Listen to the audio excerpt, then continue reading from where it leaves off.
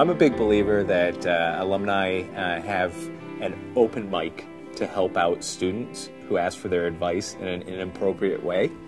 Um, so um, students are still in that process where they're learning what it means to be a professional. And uh, the opportunity that alumni have is to help them in a non-threatening way um, help themselves in the career search process.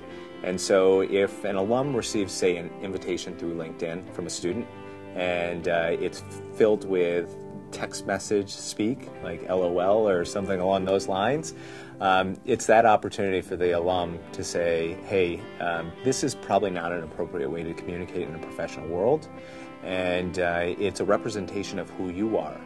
And so this is where what I think of you right now, based on that interaction, if you change this, it would open up the door for more communication with me and other alumni.